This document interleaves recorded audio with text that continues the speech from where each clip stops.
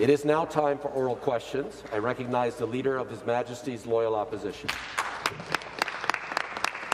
Thank you, Speaker. Speaker, my question to the Minister of Health. The Minister of Health has risen in this House countless times over the past few weeks saying the government had, quote, prepared for the surge in respiratory illnesses. And yet, just this past weekend, CHEO in Ottawa has had to call in the Red Cross to help. That is not what a well-resourced and prepared healthcare system looks like, Speaker. Does the minister think it's acceptable for a hospital to have to call in the Red Cross? Member for Eglinton Lawrence and Parliamentary Assistant to the Minister of Health. Very much, Speaker. We understand how difficult this fall has been. We've inherited a broken system which has put pressure, um, uh, put under pressure by the triple threat now of RSV, uh, COVID and uh, influenza. Uh, but we inherited this system and we intended to take steps to fix it, which is what we've been doing to ensure children get the care they need. Our government is in constant contact with our pediatric hospitals. And in fact, our government funded a second pediatric ICU at CHEO for the fall surge, which CHEO has been staffing um, until now. But now they need a little extra help, and they have asked a small team to come in temporarily from Red Cross to assist them with the second pediatric ICU. But that was certainly part of our planning to make sure we had the care we need for pediatric patients at CHEO and other pediatric Response? hospitals. Thank you, Speaker. Supplementary question. Well, Speaker, I'll help the minister out. Calling in the Red Cross to help in our hospitals should never have to happen. Full stop.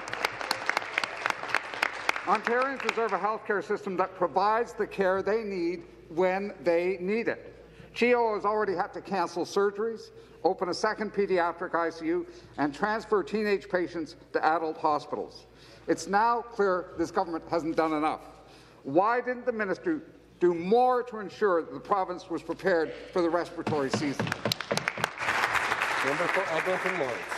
Thank you very much, Mr. Speaker, and thank you to the member opposite for the question. Our government has been moving all kinds of things in order to make sure we're prepared for the fall surge, and that is why we opened a second pediatric ICU at CHEO, and why CHEO is now making sure they have more Order. staff to assist. As Tammy DeGiovanni, the Chief Nursing Officer at CHEO, has said, it's been an all hands on deck at CHEO this viral season, as we have responded to unprecedented volumes of RSV, the flu, and COVID. We have redeployed staff and medical staff from surgical and medical care units, added extra beds and workers in our pediatric intensive care, emergency departments, as well as inpatient units, and asked non-clinical staff to support clinical teams where possible. Everyone at CHEO has been doing all they can to take care of kids and their families, and our government applauds the work of our healthcare workers in making Spons? sure that pediatric patients and all patients in our system are getting the care they need. Member for Waterloo will come to order. The member for Brampton North will come to order. Supplementary, final supplementary question. Speaker, there's a massive disconnect between what the minister says and what's happening in our children's hospitals. The FAO has shown that in the first half of the year, the government underspent in healthcare by nearly a billion dollars. To add insult to injury, the government plans to appeal the ruling on Bill 124, which has already driven countless healthcare workers out of our system. The government continues to underfund and degrade our publicly funded healthcare system.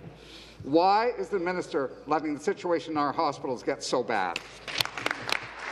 President of the Treasury Board.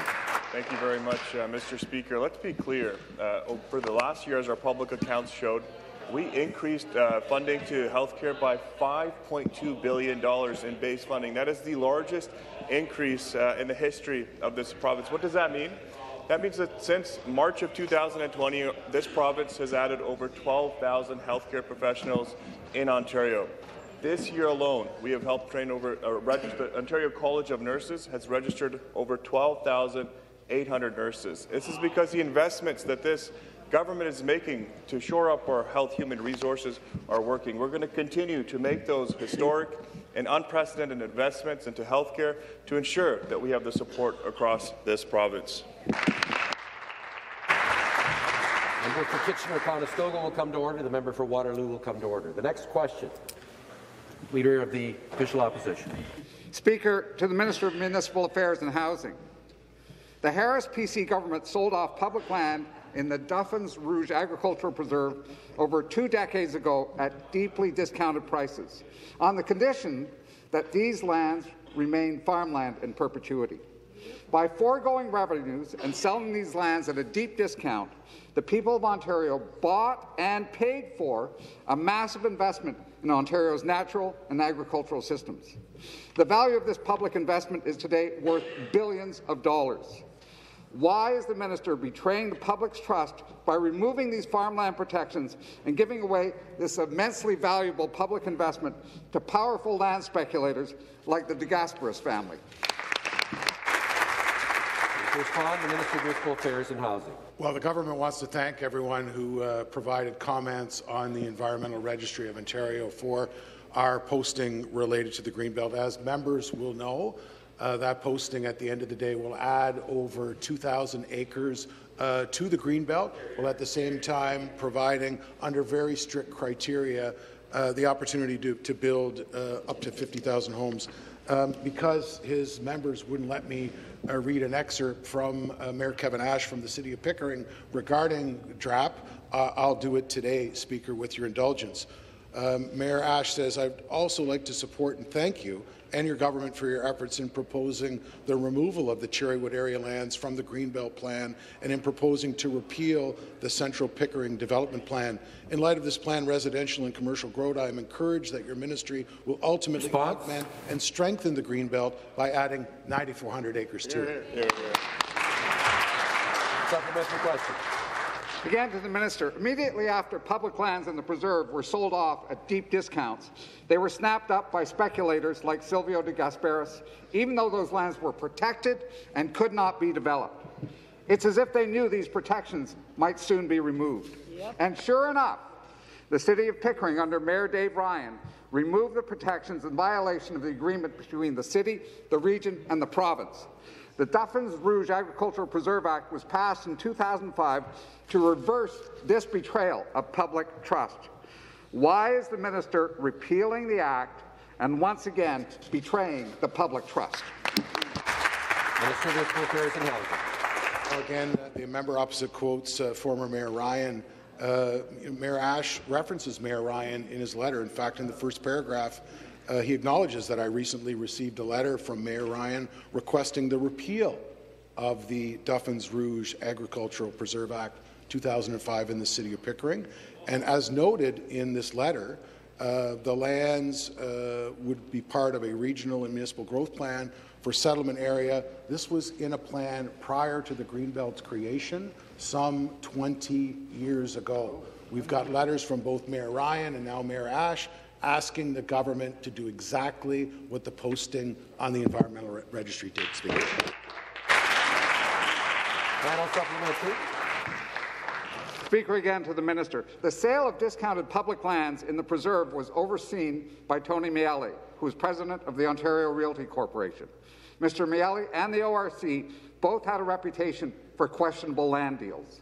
Mr. Miele currently serves as chair of the PC Ontario Fund at a time when serious questions are being asked about why the beneficiaries of questionable planning decisions by this government tend to be PC party donors. The minister is about to remove protections from the preserve, giving billions of dollars worth of public wealth to private interests. Why is the minister enabling this betrayal of the public trust? Remind the members of the House that you can't impute motive. Government House Leader to respond. Speaker, uh, as the member knows, nothing could be further from the truth. Uh, we, of course, uh, were elected on a, a, very strong platform to ensure that the people of the province of Ontario were well serviced by their government, Mr. Speaker. And what that means right now is, uh, is that the people of the province of Ontario know that we are in a housing crisis. The Min Minister of Municipal Affairs and Housing has brought forward a very thoughtful program that will allow us to work in consultation and in cooperation with uh, the City of Pickering to ensure that we can bring homes to the people of, uh, of, this, uh, of this province, Mr. Speaker. I look around me to my caucus here, and I wonder how many of them are first-generation Canadians or parents came here with one dream, and that was dream was to have a better life for their family and for their kids, Mr. Speaker. And part of that dream, I know for my parents, was to have their first home their first home. Now, the opposition would take that dream away from the over, what, 500,000 people who are expected to come here each and every year. Response? Mr. Speaker, we won't do that. We won't do that. We have a responsibility to the people of the province of Ontario to ensure that they can meet their dreams like countless generations have. They want to take that away from people. We'll make sure that they get it. The next question, the member for Niagara Centre. Thank you, Speaker. Through you to the Minister of Municipal Affairs and Housing. Last week, the minister failed to explain why he was allowing his ministry to be lobbied by his former Chief of Staff, Luca Bucci, who left the ministry in April, less than eight months ago. The government House Leader wouldn't even let the minister answer. Maybe the minister will answer this. Before Mr. Bucci became CEO of the Ontario Home Builders Association, or since, did the minister or any other government official share information with Mr. Bucci, information not available to the general public that could be used by a member of the Ontario Home Builders Association to further their private interests. Government House Leader. Uh, I know that uh, the, uh, uh, the members opposite will do anything. They're like a leak, right? You know when you have a leak in your house, you want to find out where the leak is before it does too much damage, right? Now, of course, the people of Ontario know what, it, what happens when you don't find that leak. By consequence, they, we didn't find it in 1990 and 95, and the NDP almost bankrupted the province. But more importantly, Mr. Speaker, Order. more importantly, we have a situation in the province of Ontario where we are in a housing crisis. Now, the NDP are going to do and say everything they possibly can to stop hundreds of thousands and millions of Ontarians from having the same dream that hundreds, millions have. Like, put your hand up, put your hand up in this caucus or over there if you're a first generation or if your parents came here. Look at the hands that are going up. And the number one dream of all these people I'll ask the government House Leader to make his comments through the chair. Mr. Speaker. They're, they hate it, right? They hate it. They hate it because the number one dream, Mr. Speaker, of millions and millions of people who built this province, who built this country, was to have a better life for their family. When my parents came here impoverished from Italy, they came here to have a better life for their kids, Mr. Speaker. And the number one dream is the value of a home, and they got it, and look where they came. Stop the clock.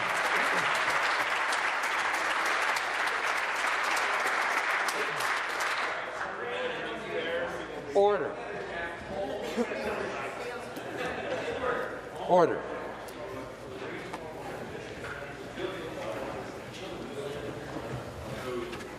Start the clock. The supplementary question. Speaker, so the government House Leader doesn't want to answer the question.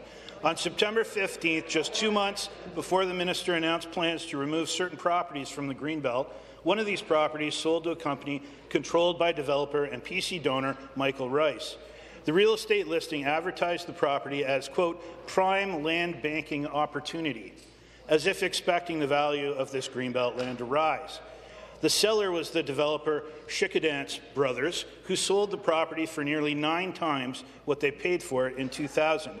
Speaker Bob Schickedanz was president of the Ontario Home Builders Association on September 15th. At the same time, Luca Bucci was CEO of the Home Builders Association. Did the minister or any other government official share information with Mr. Bucci that could be used by the buyer or seller of the Schickedanz Question. property to further their private interests, yes or no? Government House Leader. You know, obviously, the minister has already said no. The minister has said that he will uh, work with uh, the Integrity Commissioner. But more importantly, Mr. Speaker, what you're seeing day in and day out, colleagues, what you're seeing day in and day out is the NDP who refuse to acknowledge that in the province of Ontario there is a housing crisis. Now, that housing crisis was created by policies that they helped support, Mr. Speaker. Now, we know that in the province of Ontario, in the province of Ontario, we want to continue to welcome people from all over the world to help us build a better and more prosperous Ontario. Just like my parents did. Now, when my parents came in the late 50s, early 1960s, all of them, the brothers uh, and their sisters, six of them lived in one house. Some lived in the up, upstairs, some lived in the basement, and one by one, they managed to have the dream of a brand new home right here in the province of Ontario. That was the dream that they came. They wanted their kids to have a better future than they had, Mr. Speaker. That's why millions of people came here, struggled, and built. Uh, helped build the province of Ontario. They want to take that dream away from people. This Minister of Municipal Affairs and Housing said, no, that is a dream that countless generations had. And Next question, the member for Carleton. Mr. Speaker, Mr. Speaker, last Friday I had the pleasure of meeting with the ironworkers of Local 765 along with the Minister of Labour, Immigration, Training and Skills Development. And Local 765 is located in the great community of Metcalfe in my riding of Carleton. I saw the amazing work Ontario's skilled tradespeople do to keep our province's economic engine running. Unfortunately, Mr. Speaker, Ontario is facing a labour shortage. In Ottawa alone, there are more than 42,000 vacant positions. The skilled trades are no exception, and opportunities abound for people looking for a job in this sector. Speaker, my question is for the Minister of Labour, Immigration, Training and Skills Development. What is our government doing to bring more people into the skilled trades? Thank you. Respond, Minister of Labour, Immigration, Skills well, Development. Thank you very much, Mr. Speaker, and I want to thank the member of Carl, uh, for Carleton for that question and for an amazing day that we had in her riding uh, on Friday. Uh, Speaker, we need all hands on deck to get more people in the skilled trades and to build those 1.5 million homes by 2031 and to welcome all of those new Canadians that are going to be coming uh, to Ontario. Speaker, that's why we are investing a record $1.5 billion over the next four years to teach anyone who is eager to work uh, in the trades uh, the skills they need for these life-changing careers. The iron workers, Local 765 in Ottawa and right across Ontario, are constructing, installing, and erecting the iron that our major infrastructure projects depend on. Speaker, simply put, we depend on them to keep Ontario standing tall. They are everyday heroes, and we need more people like them to continue building Ontario. And the supplementary question. Thank you, Speaker, and thank you to the Minister for that answer. Speaker, I am pleased to hear that our government is making the necessary investments to help grow Ontario's economy through its skilled trades strategy. With one in three tradespeople over the age of 55, it's critical that our government fill the oncoming vacancies from retirement by training the next generation of skilled trades workers. Speaker, my question is once again to the Minister of Labour, Immigration, Training and Skills Development. What is our government doing to market the skilled, the skilled trades to young people? Thank you. Minister of Labour. Well, thank you, Mr. Speaker, and again, thank you to the member uh, for Carleton. Uh, Speaker, to fix Ontario's skilled trades shortage, we need to show more students that these are rewarding, well-paying, and in-demand careers. That's why, for the first time in Ontario's history, we hosted five skilled trades career fairs this fall with more than 20,000 students and parents attending. Working with our union partners, employers and colleges, students got hands-on experience with a variety of trades and the chance to hear directly from tradespeople about the work that they do. Speaker, to tackle the shortage in the skilled trades, we must promote these amazing careers to our young people. They are the next generation, and we need them to build a stronger Ontario for all of us question, the member for Kiiwetinoong uh, Good morning, Speaker. My question is to the Premier. Highway 105 was washed out, uh, uh, separating Red Lake and uh, Ear Falls from the rest of Ontario. And um, Sioux experienced flooding. Um, uh, during the spring, uh, experienced the uh, unprecedented flooding. So Sioux experienced the uh, flooding that was damaged, that damaged over 30 homes and businesses, including two hotels. Last week, the Auditor General said Ontario is not doing enough to help municipalities with this planning. Mr. Speaker, uh, they need assistance. What is Ontario doing to help communities in the north to mitigate future flooding?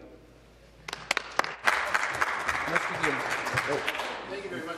Government House Leader important question given how important the North is to the province of Ontario, and we've said that right from uh, the beginning. So, look, there are a tremendous amount of resources that have been put not only into northern communities but across the province of Ontario to ensure that we are prepared to meet the challenges of, uh, of natural disasters, both uh, uh in southern northern Ontario, but in urban and rural communities. That means working very closely with our municipalities who have expertise on the ground. Now, the important thing when we talk about the North, Mr. Speaker, is that we have to create those partnerships because it is so important. That's why we are bringing, of course, more uh, roads and transportation networks to Northern Ontario. I know the Minister of Mines has been working very hard with First Nations partners and with, uh, with our, uh, uh our mining partners to ensure that we can unleash the power of the North. I know the Minister of Energy just talked about last week how we finally were able to Response? get uh, hydroelectricity to some parts of uh, northern Ontario, and I know the honourable uh, gentleman was there as well, taking them finally off the, uh, the diesel uh, generators. Look, the north is an important, important part of the economic prosperity of the province of Ontario, as is what he talked about, and that's why we're working so closely with our partners to mitigate that. And the supplementary question. I know uh, there's uh, floods, there's uh, fires that keep happening in the north, and we need to be able to have uh, good plans for First Nations and not municipalities to protect uh, the, the, the, towns and also the, the, First Nations. Every year, communities in Kiiwetinoong evacuate because of uh, forest fires that threaten everything. The Auditor General found that it took up to 11 hours to coordinate a response. That is unacceptable. Speaker, uh, Ontario can do more to prepare and manage emergencies response to these annual forest fires. What is Ontario uh, doing to improve forest fire responsiveness and planning for First, for First Nations and communities in the North? Uh, and uh, look, an important question again uh, from the member opposite. I know that the Minister of Natural Resources, of course, has been working with his cabinet colleagues, the Minister of Northern Development, uh, as well as the as the Minister of Mines, the member for Sault Ste. Marie, Mr. Speaker, to ensure that our our northern northern parts of, of the province uh, are well serviced. In particular, we, have seen a number of, uh, of, uh, of, forest fire seasons that were very, very, very challenging. Now, of course, the member knows that we have invested uh, we've invested to ensure that our fleet of, uh, of water bombers and, uh, and fire equipment is, uh, is available to the north, but we're also doing it in partnership not only with other municipalities, but with our partners both in Quebec, our partners in, uh, in Manitoba. We all face very similar challenges, Mr. Speaker, and that's why we have been working so closely uh, with partners uh, uh, across the board. But Ontario has made those investments. There are, more, there are certainly more investments to make as we as we continue to see the, the growth in Northern Ontario. Look, simple growth that had not existed with any other government because everybody else seemed to ignore Northern Ontario. We understand how important it is to the economic vitality of the province of Ontario, and we'll continue to make those important investments. The next question, the member for Newmarket Aurora. Monsieur le Président, ma question Mr. Speaker, my question is for the Minister of Francophone Affairs. Within the implementation of economic development for Francophone communities implementation, our government uh, will finance four projects.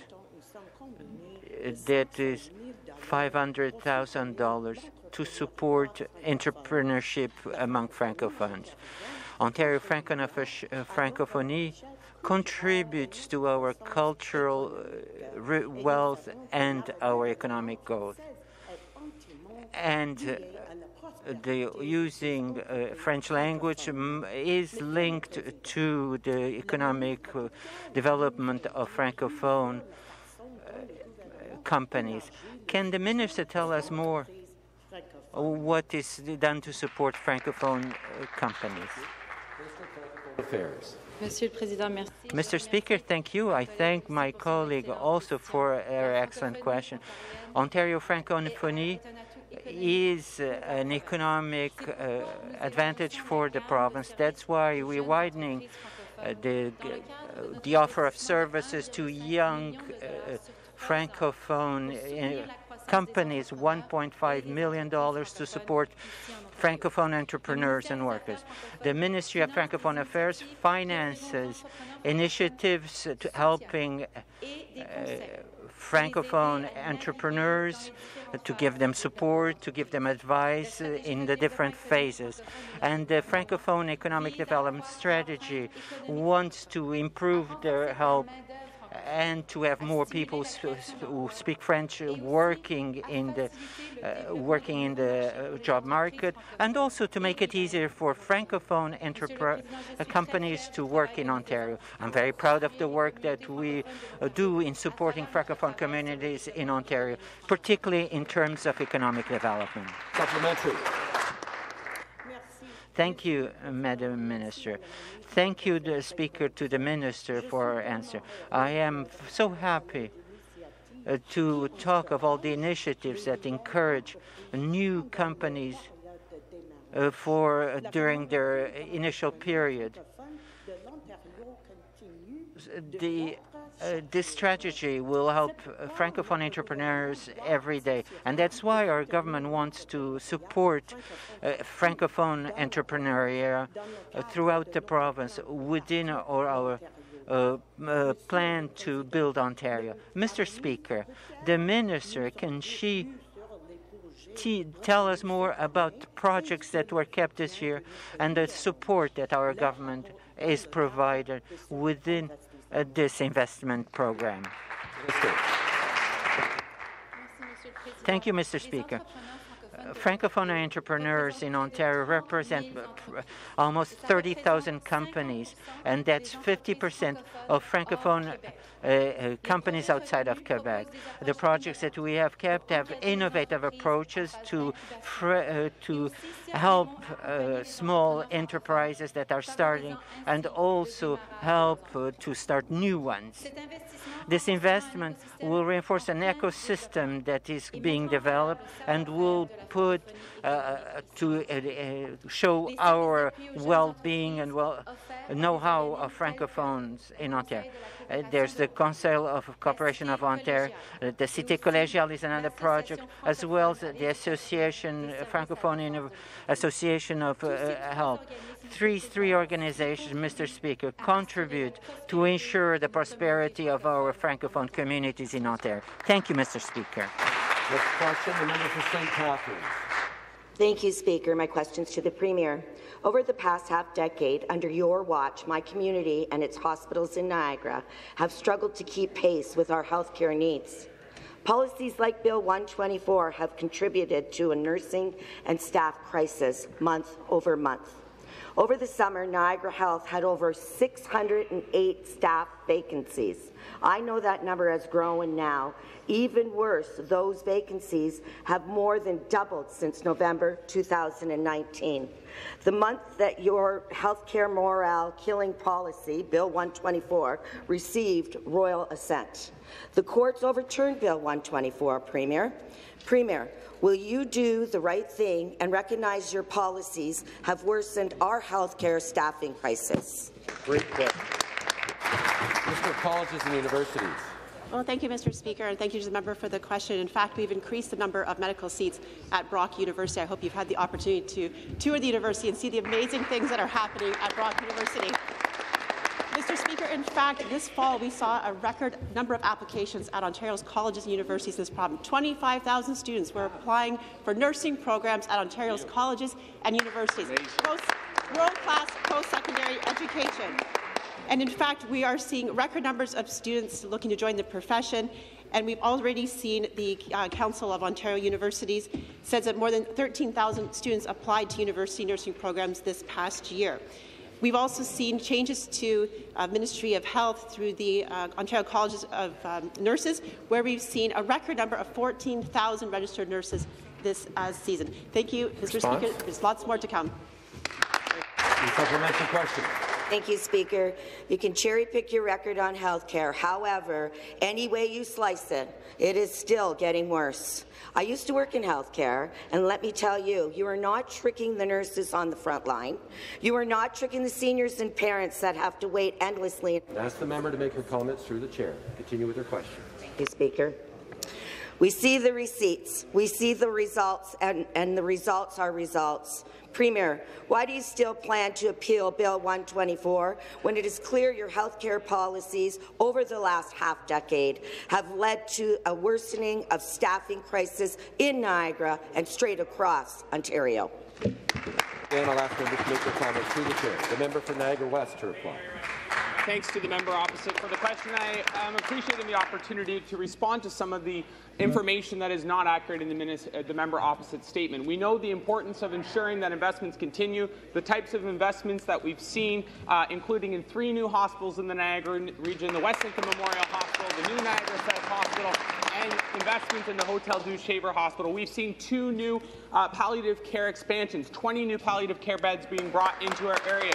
We've seen a new nursing program launched at the Niagara, uh, at Niagara College, as well as an expanded nursing program, doubling the amount of nursing graduates from Brock University. These are the types of investments under the leadership of Premier Ford and this team we are making in Niagara to ensure that each and every patient in our region Order. has access to the world-class care that they deserve. The opposition had years to make that happen with the Liberals, and they didn't.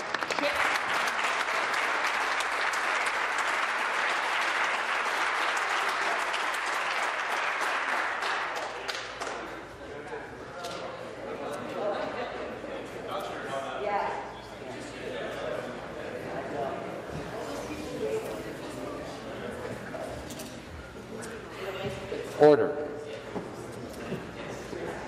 Please start the clock. Next question, the member for Guelph. My question is for the Premier.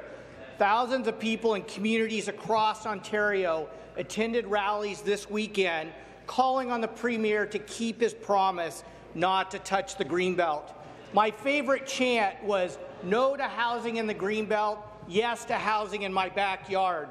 The government's own Housing Affordability Task Force said there is no need to develop the Greenbelt. There is plenty of land already approved for development to build the homes that people need. The Premier himself has said, and I quote Speaker, I've heard it loud and clear that people don't want me touching the Greenbelt. We won't touch the Greenbelt. Speaker, the people are speaking out loud and clear right now. So the question is, will the Premier listen to the people who don't want him to touch the Greenbelt? Question. Or will he listen to land speculators who want to pave over the people's Greenbelt? The member for Kitchener-Conestoga come to order. The Minister of Municipal Affairs and Housing to reply. Speaker, so, so here's what we know, Speaker. Our, our per capita housing supply lags behind our G7 and our Canadian peers who we compete with for jobs and investment. Today, uh, our province is nearly 1.3 million homes rented or owned short of that G7 average. That's why uh, we're in the middle of a housing crisis. The University of Ottawa's based uh, Smart Prosperity Centre found that Ontario's pre-existing shortage is already 471,000 homes in 2021. We need over an additional million homes just, just to get to that average of other G7 countries and our Canadian uh, peers. Uh, and then, as has been noted this morning, we already know that we're going to have an influx of new immigration who we want to welcome to our province. Probably 60% of that half a million new Canadians are going to come here. So that's why we're putting forward policies, procedures, bills, regulations to get shovels in the ground. Here, here. Supplementary question. Speaker, there is one thing I will agree with the minister on. The housing crisis has gotten worse under this government's watch. But let's be honest with people. Breaking the Premier's Greenbelt promise will not solve the housing affordability crisis. This government's own housing task force says that. Housing experts and activists say that. We know that developing the Greenbelt will help a handful of wealthy land speculators turn millions into billions.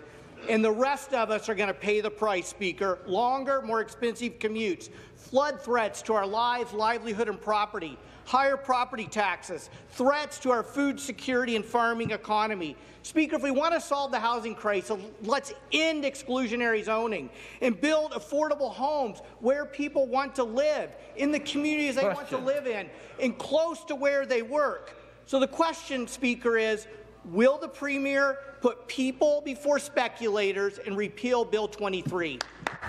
Minister of Municipal Affairs and Housing.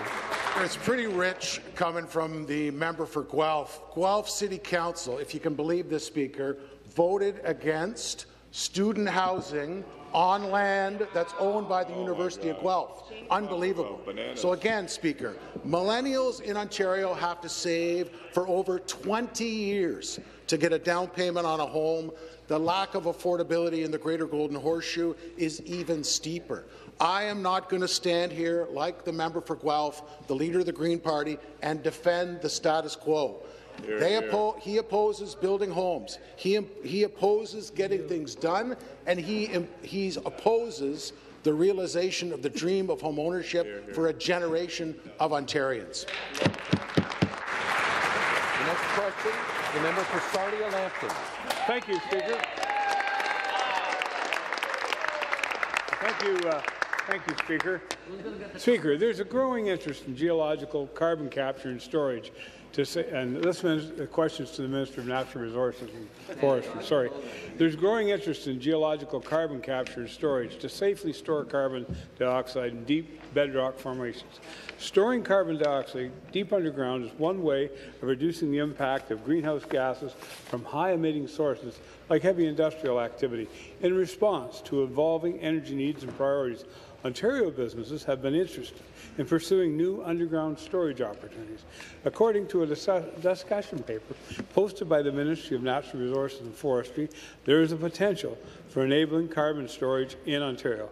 Several areas throughout our province might have the right mix of geological conditions for storage capabilities. Speaker, can the Minister of Natural Resources and Forestry please elaborate further on carbon storage technology and its environmental and economic benefits? With the reply, the Minister of Red Tape Reduction. I want to thank my colleague, of course, the member from Sarnia-Lambton, for that important question and for his hard work on behalf of his constituents. Carbon storage technology that involves inje injecting carbon dioxide deep underground rock formations for permanent storage. You take the carbon dioxide emitted from power plants, from steel mill, or any other industrial process that you can think of and capture it, Mr. Speaker. Instead of having the carbon dioxide released into the air, this process ensures that it never gets a chance to be released in the air.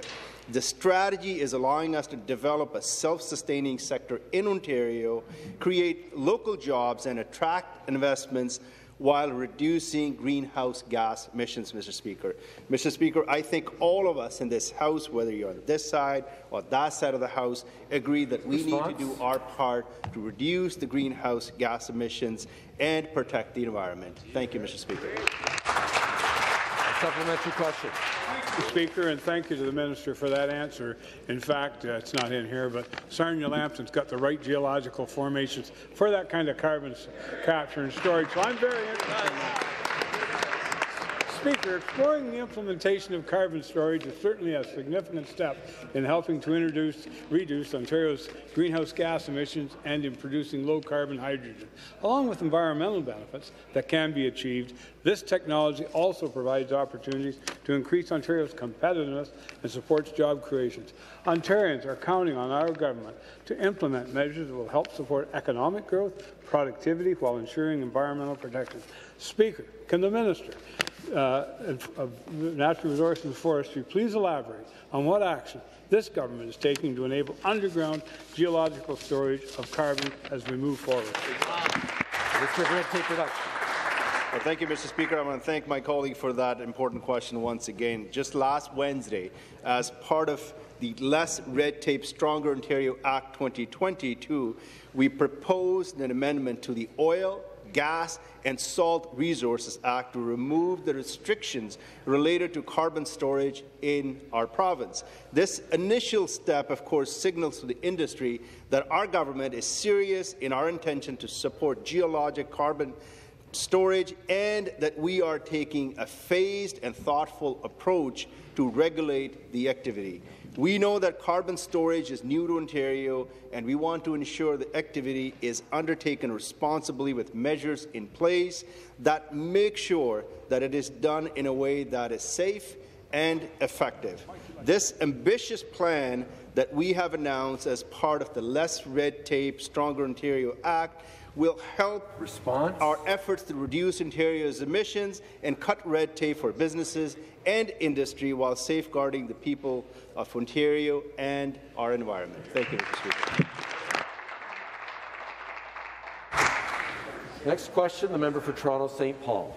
Thank you, Speaker. My question is to the Premier. Last week, the Auditor General reported that the P3 contracts used to build Ottawa's LRT resulted in more problems and less accountability. The same companies contracted in Ottawa through these shady P3s are responsible for the Eglinton Crosstown P3 expensive P3 mess that has frustrated my community in St. Paul's for over a decade. My community needs accountability from this government more than ever. They need assurance Order. that the Ottawa LRT fiasco won't repeat itself on Eglinton. My question is to the Premier. Why is the Premier, the Minister, and Metrolinx choosing to conceal instead of answer to the public, the people paying for the actual project, how long this latest Eglinton LRT delay really is going to be? Thank you. Mr. Transportation. Thank you, Mr. Speaker, and I thank the member opposite for the question. Speaker, the delays that are plaguing the Eglinton Crosstown LRT are frustrating for everyone, for people living along the line and for businesses that are there. As the member opposite knows, we inherited this project from the previous Liberal government that mismanaged the project from the start. Right now, Speaker, our focus is on making sure that the Eglinton Crosstown LRT is safely operational as soon as possible. But, Mr. Speaker, let's be clear. We are continuing to make progress on our priority projects for the GTA, the new Ontario line, and the three extensions. But to get those projects built, Mr. Speaker, in a different way, we passed the Building Transit Faster Act, an act that's designed to address a lot of the issues that the member opposite is raising. And, Mr. Speaker, that member and the party opposite voted against the Building Transit Faster Act. They voted against getting shovels in the ground Order. and getting transit built faster, Order. Mr. Speaker. I think that's the question that should be asked in this House, Speaker, is why they voted against such an important piece of legislation to get transit built faster. Supplementary question. Ontario line is 75% over budget. That's why we said no.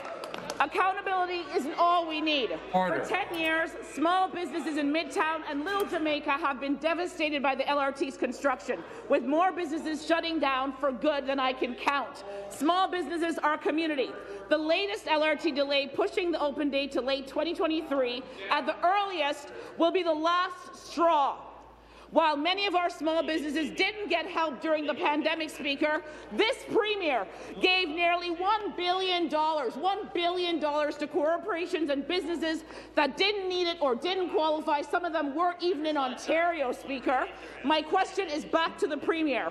Will you be providing substantial financial support for our small businesses so that they can weather this storm that this government has created? Thank you. Transportation. Thank you, Mr. Speaker. And our government does not believe that these kinds of delays are acceptable, and that's, that's exactly why we passed the Building Transit Faster Act. I can't understand why the members opposite voted such an important piece of legislation that will make sure that future transit is built more quickly and is built better than the way the Liberals had planned. But, Mr. Speaker, let's be clear. We have been there for businesses along the Eglinton Crosstown LRT. We have provided supports for those businesses that have been impacted by construction. We have provided, and Metrolinx has been collaborating not only with the City of Toronto, but also with local BIAs to establish a joint committee that's responsible for determining where these funds should go. Mr. Speaker, we know that this has been a difficult go for the people along the Eglinton Crosstown LRT, and that's why we're so determined to do it differently. Here, here. Next question, the member for Etobicoke Lakeshore. Mr. Speaker, Speaker, homelessness is an extremely important and complex issue that impacts Ontarians. You know, last week I was speaking with Jasmine from uh, LAMP Community Health in my riding of Etobicoke Lakeshore, and we discussed the challenges that are faced by individuals, families experience unsheltered homelessness, and how they become all more heightened during the winter months. While it is essential that assistance and programs are available to meet urgent needs, there must also be new solutions and coordination of services to support Ontario, Ontarians' most vulnerable people. Across this province, there are many individuals and families whose physical, mental, and social well-being are at risk because they need access to resources and local supports. Speaker, can the Associate Minister of Housing please explain what our government is doing to provide vulnerable Ontarians with the support that they need? You're here. Good question. And to respond, the Associate Minister of Housing. Thank you very much, Speaker, and I want to thank uh, my honourable colleague for this very important question and for all the great work that she does in her community, Mr. Speaker. Speaker, I want to point out that Ontario, under this government, is the primary funder of all homelessness programs, with 86% of the funding coming directly from the province. Speaker, earlier this year, we developed, developed a new homelessness prevention program to simplify and streamline operations to allow service managers to help more people find a home and less time on paperwork. And we also increased this program by $25 million this year, bringing the total close to half a billion dollars annually. Speaker, I recently visited Scott Mission here in Toronto and Ottawa uh, Mission before heading north to visit Urban Abbey and Grace Place in Thunder Bay Response? to see firsthand the great work that's being done to support those who are facing housing challenges. And Mr. Speaker, I've said it again, we'll continue to be there and we'll work with all partners to make sure that we don't leave any Ontarian behind, Speaker. Supplementary question. Thank you, and I just want to thank the minister for that answer. It is extremely important, and uh, during the winter months, the weather in many regions, as we all know, can drop to extremely cold temperatures. And this creates, that, uh, this can create conditions that can adversely impact the health and well-being of those in need of shelter. Individuals and families experienced or at risk of homelessness have a much higher risk of developing hypothermia or frostbite than the general population during the cold winter seasons. Our government must provide assistance to individuals whose health and safety might be at risk because of the cold. Speaker, can the Associate Minister of Housing provide details about support systems and programs available to those needing shelter? Associate Minister of Housing. Thank you, Speaker, and thanks again to uh, my colleague for the follow-up question. Speaker, through you to my colleague, rest assured that we'll continue to be there for anyone in Ontario that needs support, Mr. Speaker, and we'll continue to work with our municipal partners and our federal partners as well to do more so that we can continue to address homelessness in Ontario. Speaker, I would like to point out that a few municipalities across our province have opened up warming centres for those who are looking for a place to stay. And we need to continue to work together to be there for all those in need of support. And I encourage Ontarians who need more information or assistance to dial 311. Speaker, this government will simply not leave anyone behind and will continue to work with our partners, like the Salvation Army, amongst others, to ensure that every Ontarian has a warm and safe place this winter season, Mr. Speaker. Question, the member for University Rose. Thank you, Speaker. My question is to the Minister for Municipal Affairs and Housing. Last Thursday, we heard from 18 witnesses about Bill 39. 14 of those 18 witnesses spoke against the bill. Mm-hmm. They represent the overwhelming public outcry against this government's unprecedented attack on local democracy.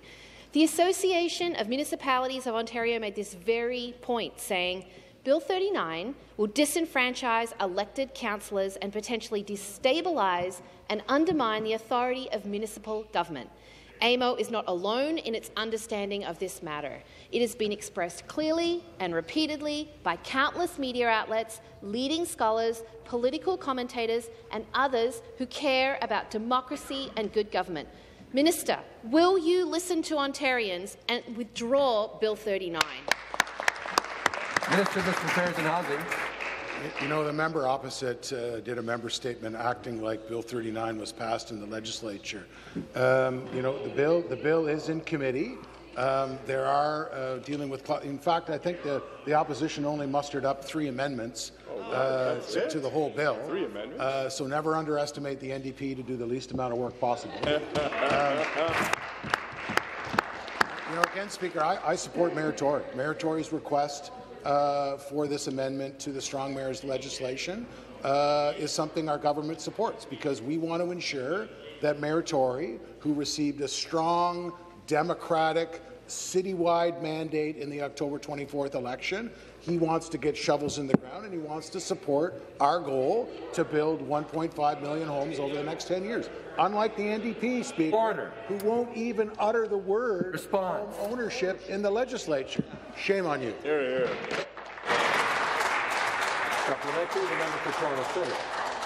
Thank you, Speaker. My question is to the Premier. Former mayors of Toronto have called Bill 39 an attack on one of the essential tenets of our local democracy, and with it, a fundamental democratic mechanism, majority rule.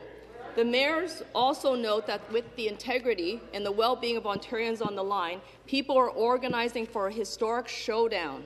The title of this fight is Citizens versus the Provincial Order. Government. This, go- this No, stop the clock. Member may take her seat. So there's a loud conversation taking place at this end of the chamber, and it's making us uh, difficult to hear the member who actually has the floor. Member for Carleton will come to order. The member for Scarborough Guildwood will come to order.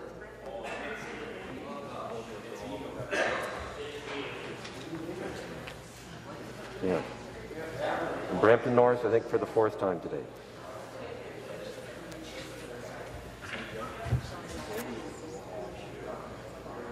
Start the clock. Member for Toronto Centre had the floor. Uh, thank you, Speaker. So I'm just going to repeat the, the question. This government shall remember the last time that they tried to trample on the rights of Ontarians. The people were united, they fought back, and the government was embarrassingly forced to repeal bill, the, their unconstitutional bill that time in less than a week.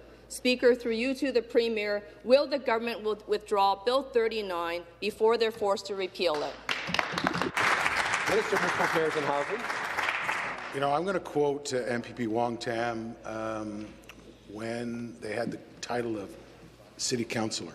And I think it really sends a message on how the NDP operate. Here's a quote. Good luck trying to build your tower or your condo if we don't give you the road occupancy permit. Good luck if we don't give you that permission to remove that single oh tiny little tree. It is simply not going to happen. Wow. Talk about bananas. There, there's a winner. Yes, talk about bananas. We're going to support Mayor Tory, who received a strong Democratic citywide mandate. I've said in this House, every other councillor combined, uh, the mayor still had 36,000 more votes. He wants to make uh, the strong mayor powers work. We want to work with him. We, we need to have a third of the growth, Speaker. A third of the growth in the next decade is going to come in our two biggest cities, Toronto and Ottawa. We have to give those mayors the tools to get shovels in the ground faster. That's exactly what Bill 39 does. And the next question, the member for Thunder Bay Atikokan. Thank you, Speaker. Our government recently announced an environmental assessment proposal that will help secure a critical mineral project in northwestern Ontario. This critical mineral project will bring job opportunities and secure Ontario's future as a leader in the generation of clean, sustainable electric vehicles. While we hear from the opposition that our government does little to protect the environment, it is evident that our government's actions demonstrate environmentally responsible leadership. Speaker, can the Minister of the Environment, Conservation and Parks please explain how this environmental assessment approval will support northwestern Ontario? Thank you. To reply, the Minister of the Environment, Conservation and Parks. Speaker, and I'd like to thank the member for Thunder Bay Atikokan for that excellent question. He's right, uh, Speaker. Too often we hear um, this false choice. Environmental protection and economic development go hand in hand, and that's a belief of this government. In fact, that worrying false dichotomy presents a fundamental lack of belief in Ontarians and in the potential of the men and women in the North. Uh, Speaker, there is no net zero without mining. In the North, the corridor to prosperity means the critical minerals we need to reduce our dependency on fossil fuels. Just this past week, I, I approved, with my powers under the Environmental Assessment Act, Generation PGM's Marathon Mine project. This approval is a guarantee that this vital project will go forward for the people of Northern Ontario. Ontario is leading Canada leading Canada, showing that by working with businesses, not taxing them, we can realize the potential of the North, work hand in hand with Indigenous partners, and ensure that Ontario is on the forefront of decarbonization. Thank you, Speaker. Supplementary question. Speaker, it is great to learn that our government is taking concrete steps to cement Ontario's place as a world leader in critical mineral exploration, production and innovation. It is evident that these efforts are bringing good jobs and prosperity to the people and communities of Northern Ontario in an environmentally responsible way. There is tremendous potential in the North, and many positive outcomes can be achieved as our government continues to promote Ontario's mining sector. Speaker, my question is to the Minister of Mines. Can he please elaborate further on the importance of this mining project in northwestern Ontario and how it will support our government's critical mineral strategy? Minister of Mines.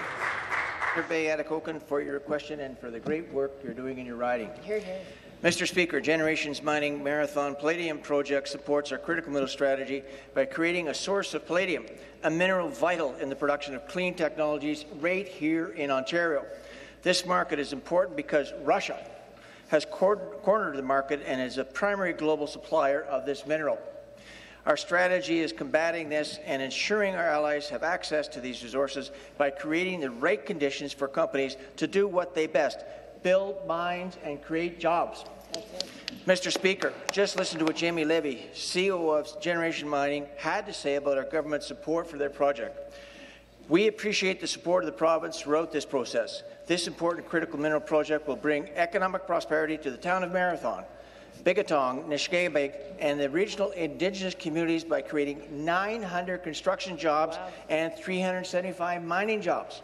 Mr. Speaker, our critical mineral strategy is working. Here, here. The next question, the member from Thunder Bay Superior North. Thank you, Speaker. Last year, the Premier promised workers at the Alstom plant in Thunder Bay, we will make sure anything bought in Ontario should be produced in Ontario. But this government secretly lowered the Canadian content rules for the Ontario line from 25 to 10 percent.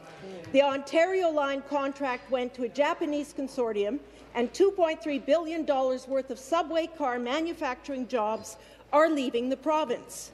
The United States requires 75% American content for publicly funded transit vehicles, and this government won't even commit to 25%. Why did the Premier break his promise to Thunder Bay workers and send their jobs overseas?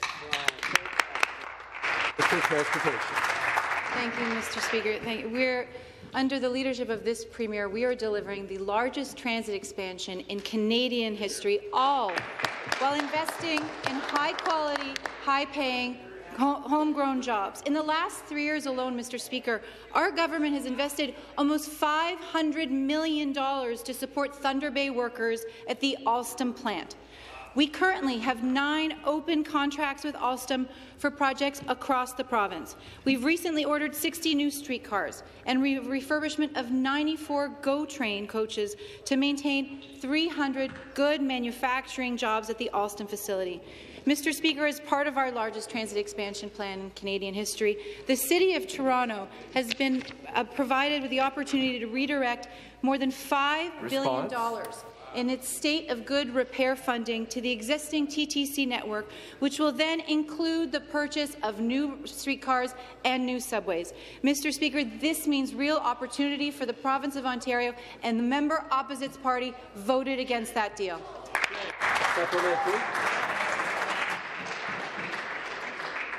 From a facility with 700 to 1,300 workers, it currently has 150. Wow. The plant is at risk of shutting down permanently by 2024 if contracts are not in place by the end of the year. There is a major contract for new TTC subway cars in the works, but the provincial and federal governments have yet to come up with their share of the financing, keeping the project in limbo. Will the Premier commit to announcing their financial support for the new TTC cars before the new year? And further, will the Premier commit to maintaining at least 25% Canadian content in all future light rail projects, ensuring that our world-class manufacturing facility in Thunder Bay not only survives but thrives. Speaker, under the leadership of Premier Ford, no government has ordered more Canadian-made vehicles than ours.